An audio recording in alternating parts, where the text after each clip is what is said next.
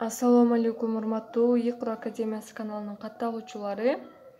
Саламатсыздарбы? Сиздер менен дагы бир ирет ушул канал аркылуу байланышып жаткан абдан кубанычтамын. Биздин каналга жаңыдан кошулган достор, кош келдиңиздер. Анда эмесе биз бүгүн жаңы теманы баштайбыз. Биздин биздин бүгүнкү тема Аллах сөзүндөгү лям тамгасы. Демек, аллах сөзүндөгү лям тамгасынын мына ушул лям тамгасынын өзгөчөлүктөрүн өтөбүз. Аллах сөзүндөгү лям тамгасы жоон же ичке болуп окулат. Демек аллах аллах деген сөздөгү лям тамгасы ичке же жоон болуп эки түрдүү гана окулат. Бул жерде башка сөздөрдөгү лямды эмес бир гана аллах деген сөздөгү лям тууралуу сөз болуп жатат тамганын жоон же ичке болуп айтылышы өзүнөн мурунку тамганын аракетине байланыштуу дейт. Демек аллах деген сөздөгү лям тамгасы жоон же ичке болуп эки түрдүү окулат.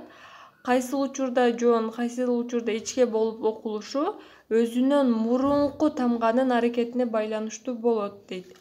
Анда эмесе жоон окулушу демек жоон окулуучу учурду түшүндүрө кетейин мурунку аракет фатха замма болгондо дейт. Демек аллах сөзүнөн мурунку тамганын аракети фатха же болбосо замма болгон учурда. Аллах сөзү жоон болуп окулат. Мисалы бисмиллахи рахмани рахим миналлахи миналлахи бул жерде э, миналлахи деп окусак ката болот. Миналлахи деп окуй турган болсок биз ичке кылып окуган болобуз да. Анан э, мындай дагы ката кетирбеш керек. Миналлахи деп э, нунду дагы жоон кылып албашыбыз керек да. Э, минал мин миналлахи деп дагы айта албайбыз. Миналлахи миналлахи мина миналлахи миналлахи дагы эмес. Миналлахи وشو اللي صياغته مع الله إلى الله sizler London John ekan tushundingiz üzere. Minallahi ma'allahi ilallahi. Khatamallahu oy khatamallahu zeheballahu. Radiyallahu. Radiya ya yani işke kıldım radiyallahu def'ullahi emrullahi rasulullahi. Biraz yakındatayım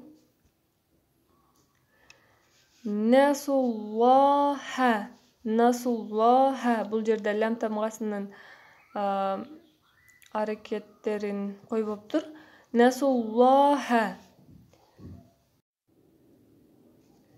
фавакахумуллаху ю'тикумуллаху ю'тикумуллаху демек түшүнүктүү болду окшойт эгерде Э, аллах сөзүнөн мурунку тамганын аракети фатха же замма болчу болсо аллах сөзүндө лям тамгасын жоон кылып окуйбуз. Дагы ушул жерден айта кетчү нерсе мындан мурда биз э, ра тамгасынын өзгөчөлүктөрү тууралуу өттүк. Анда деле эреже так ушундай эле. Эгер ра тамгасынан мурунку тамганын аракети фатха же замма болсо жоон окулат дегенчи бул жерден э, ушуну түшүнсөңүздөр болот. Демек көп учурда эле ошол өзүнөн мурунку тамганын аракети замма же фатха боло турган болсо тамгалар жоон окулат. Ичке окулушу кайсыл учурда ичке окулат? Мурунку аракет касра болгондо дейт. Демек аллах сөзүнөн мурунку тамганын аракети касра болгон учурда аллах сөзүндөгү лям тамгасы ичке болуп окулат. Мисалы Филләхи, филләхи, Бұл жерде Филлахи деп оқысақ, қата болады да. Филлахи емес. Филлахи. Ләм тамғасын ішке қылып оқимыз. Филлахи. Бидниллахи. Бұл жерде биднилләхи деп оқып алышыңыздар мүмкін адашып. Бұл жерде қарасаңыздар бә тамғасының әрекеті өзінше жана бул жерде алиф тамгасында дагы э, каср аракети турат демек бул жерде эки и бар да би и биидниллахи дуниллахи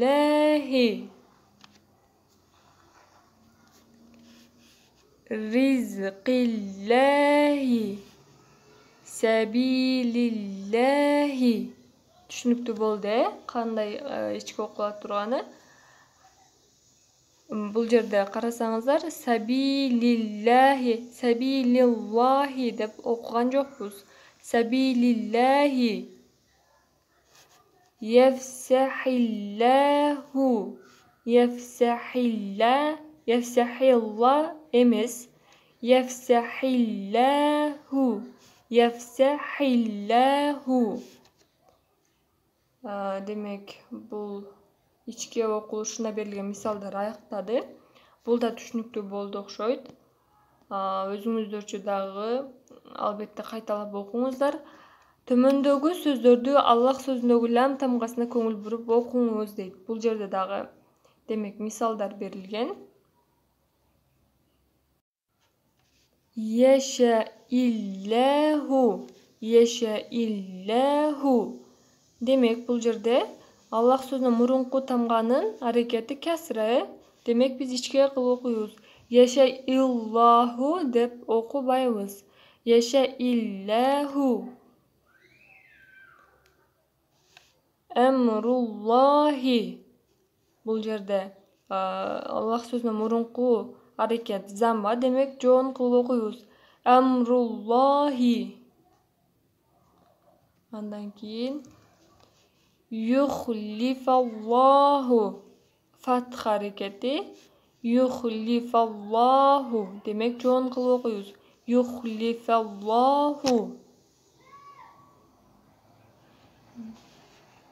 биядиллахи биядиллахи эмнеге ичке кылып окудук анткени өзүнөн мурунку аракет касра лисуннатиллахи лисуннатиллахи бул жерде дагы касра демек ичке кылып окуйбуз амину биллахи амину биллахи бул жерде дагы ички анткени өзүнөн мурунку тамганын аракети касра андан кийинки мисал вастагфириллаха вастагфириллаха бул жерде дагы касра демек ичке кылып окуйбуз самиаллаху бул жерде жоон караңыздар анткени аллах сөзүнөн мурунку тамганын аракети фатха самиаллаху самиаллаху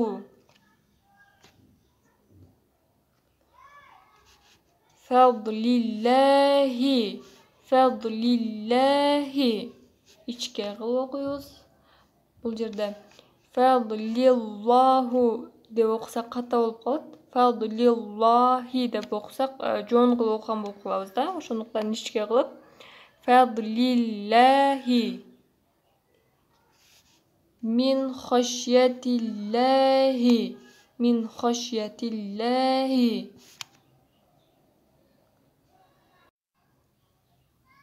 وعد الله الحسنى bu yerda fath harakati turadi demak jo'n qilib o'qiymiz vaadallohul husna va yamhullahul batila va yamhu qarab ko'ngil bo'lib turingizlar zamma harakati turadi va yamhullahul batila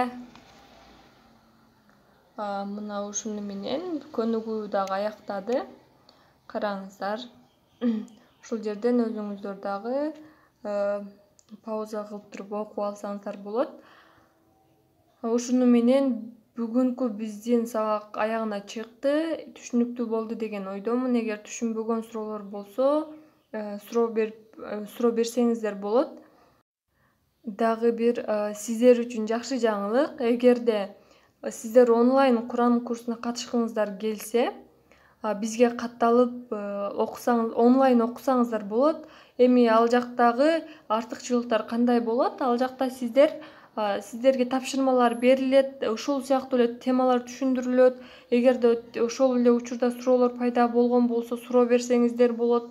Жана тапшырмалар берилет жана сөзсүз түрдө текшерилет сиздер э, сиздердин дагы мындай окуганга мүмкүнчүлүгүңүздөр болот да. Ошондуктан биздин курска катышып окугуңуздар келсе анда сөзсүз түрдө комментарий бөлүгүнө жазып калтырыңыздар. Э, биз сиздер менен сөзсүз түрдө байланышабыз. Же болбосо ушул видеонун астына мен номер калтырам. Ошол номерге whatsapp аркылуу байланышып билсеңиздер болот. Анда эмесе баарыңыздарды биз онлайн курстан күтөбүз. Кийинки сабактан көрүшкөнчө саламатта калыңыздар